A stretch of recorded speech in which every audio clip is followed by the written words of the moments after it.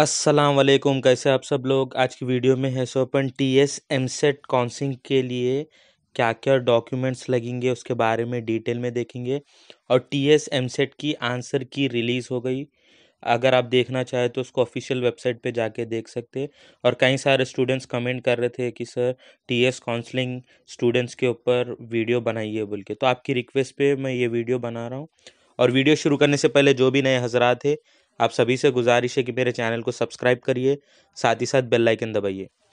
तो कई सारे स्टूडेंट्स के मन में ये डाउट है कि टी एस एम सेट है सो ऑनलाइन मोड में होगा काउंसलिंग या ऑफलाइन मोड में होंगी तो जैसा कि रजिस्ट्रेशन से और वेब ऑप्शंस की तरफ़ तक मैं आपको डिटेल दूँगा। अगर आपको वीडियो और जानकारी चाहिए तो कमेंट करिए। अभी तो मैं बस खाली आपको T S EAMCET counselling के लिए क्या क्या डॉक्यूमेंट्स रजिस्ट्रेशन के लिए और क्या क्या डॉक्यूमेंट्स लगेंगे उसके बारे में डिटेल में बोलूँगा।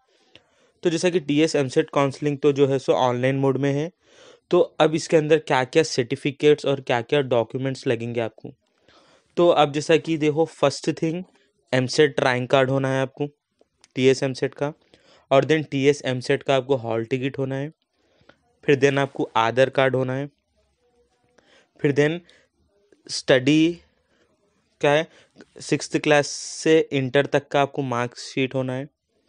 फिर अपने को टीसी होना है इंटरमीडिएट का, और इंटरमीडिएट मेमो होना है, और इनकम सर्टिफिकेट कास्ट सर्टिफिकेट या और आपको नॉन लोकल रेसिडेंस से है आप तो आपको टेन ईयर्स का रेसिडेंशियल सर्टिफिकेट होना है। फिर देन उसके अंदर में फ़िज़िकल हैंडीकैप जो भी एनसीसी, स्पोर्ट्स वो है, वो सर्टिफिकेट्स भी आपका ओरिजिनल है तो इंस्टीट्यूट्स की तरफ़ से वो भी ऑप्शनल एप्लीकेबल है। और कई सारे स्टूडेंट्स जो एसएससी के हैं माइनॉरिटी सर्टिफिकेट बिलोंग करते वो लोग भी अपने स्कूल से ये वो माइनॉरिटी सर्टिफिकेट्स जो भी है, वो देख के ले ले सकते हैं। फिर देन उसके बाद में टी एस एम सेट की जो है, सो रिलीज़ हो गई। कई सारे स्टूडेंट्स इसका इंतज़ार देख रहे थे।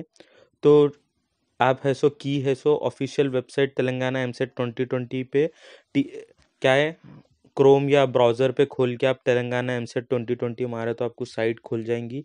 तो आप साइड में जाके क्लियरली देख ले सकते हैं आपको, उसके अंदर वो ये भी मेंशन करे कि अगर इसके अंदर कुछ भी आंसर्स गलत वलत है तो आप लोग उसको करेक्ट कर सकते या फिर कंसल्ट कर सकते फाइव पी तक। तो ये थी एम सेट की, आप आपके एग्ज़ाम के रिगार्डिंग की चेक कर ले सकते अगर आपको कुछ उसमें गलत दिखा तो उनसे कंसल्ट करके उन्हें भी बताइए। तो अब ये जो है सो एम सेट के रिलेटेड अगर आपको डिटेल में स्टेप बाय स्टेप प्रोसेस होना है तो मुझे कमेंट करिए। Sir, we want step by step process of EAMCET counselling. तो इनशाला मैं आपके लिए वीडियो बनाऊँगा उसके लिए। तो अब तो आप डॉक्यूमेंटेशंस रेडी रख लीजिए। और आप कोसी फ़ील्ड लेना चाह रहे इंजीनियरिंग में, वो भी कमेंट करिए। और आपको टॉप टेन हैदराबाद में इंजीनियरिंग कॉलेजेस चाहिए, वैसे भी वीडियोस चाहिए, एक जने कमेंट करे तो वो वीडियो में बना के डालूँगा।